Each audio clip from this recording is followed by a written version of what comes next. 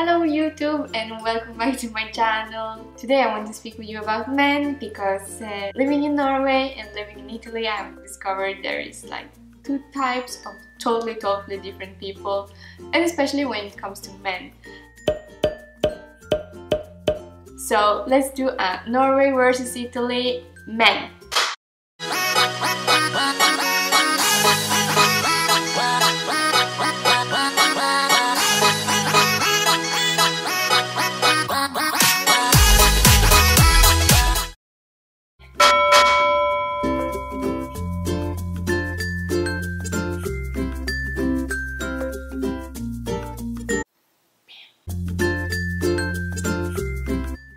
So, I have been dating both Norwegian and Italian men. Now I'm going to tell you about my experiences and how I feel. So, if you want to know about facts, you have to go and Google. Not here. Now, maybe many wonders about are the Italian men romantic? Are they like you see in the movies or you see on the TV? And in fact, this is true. The Italian men are super romantic.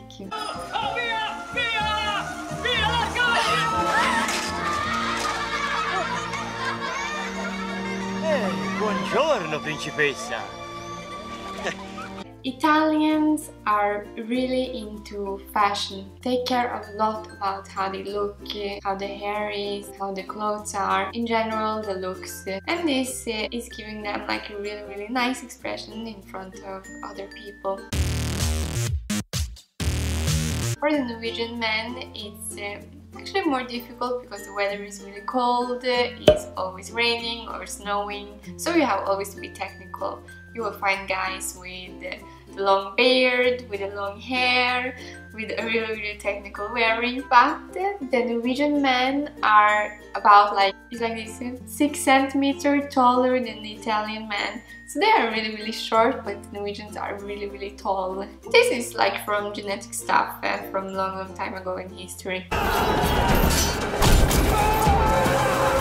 As with the Italians, to be really romantic, they show a lot of emotion, both in positive or a negative way. They are showing how much they love you, how much they care, and they are also showing how angry they are if this is happening. They are general like always all over the place, speaking with the hands, they are everywhere, always. Norwegians are quiet, not telling a lot of stuff, being a bit more like in their own bubble, telling sometimes nice stuff, sometimes they get angry, but they're not like the Italians. Rah, rah, rah, Crazy all over the place. Hai capito no, no, no, non posso ascoltarti, stai parlando solo tu! E mi hai proprio rotto i coglioni, mi hai rotto i coglioni, hai capito? Perché non sono un automa, sono una persona, a un certo punto te lo devo proprio dire! Affanculo!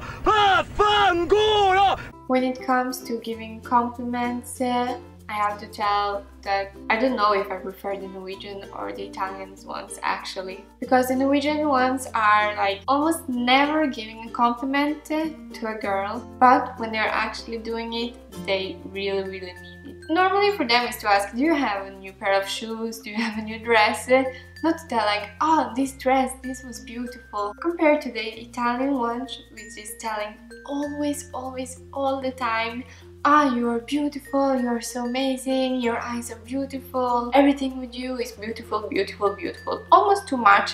And this is because they have a culture about giving compliments all the time. It's kind of nice, but it doesn't always mean that they really mean what they are telling, like they really care. So, I don't know, if you get a compliment from a Norwegian guy, lucky you, from the Italian one, mm, maybe don't care too much about it.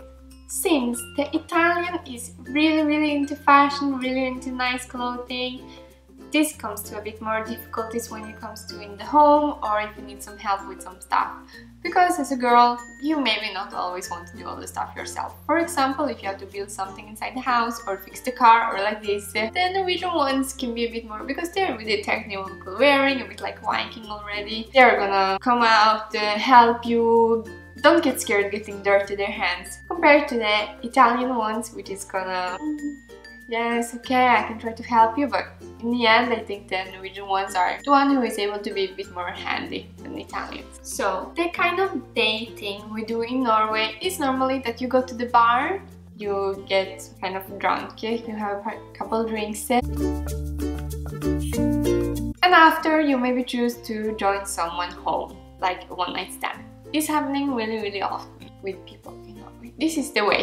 maybe you kind of meet someone, is friends with someone, or maybe you meet a guy and you decide to, for example, go to the cinema together or something, and you go on a date. This is the date, you go to the cinema, of course you will buy your own ticket, because men and women are equal, and they are not really buying anything for you. This is a shit, get it together guys, really. But if you go on a date with one Italian, this is the opposite. They will tell you where to meet or else they will come and pick you up. You will bring you to the restaurant, you will drink wine, he will maybe give you a gift or flowers. And in the end, he is gonna pay for the date. Here, the Norwegian guys have a lot to learn. Ask the girls on a date please. It's not so difficult. I remember the first time I met my boyfriend. He was actually cooking dinner for me. In mano di portarlo vicino al cervello. Quando mangiamo mandiamo giù lo mandiamo su. Quello che torna su sono le emozioni. It's really really really nice and every time in the first time we would go to the restaurant or something he would be paying, he got gifts. This is what uh, everyone should be. This is like real Italian romantic. He is not telling himself like romantic but he actually really is. The Italian man loves their mama. And the mother is the first woman in their life always. Amo vivere con mia mamma. Mamma. Det kan bli farlig lett for unge menn å flytte hjemmefra, mener signora Cassini. Mio figlio è troppo importante, come fa a farsi da mangiare? Noen trives best hos mor. They will always care about them more than you.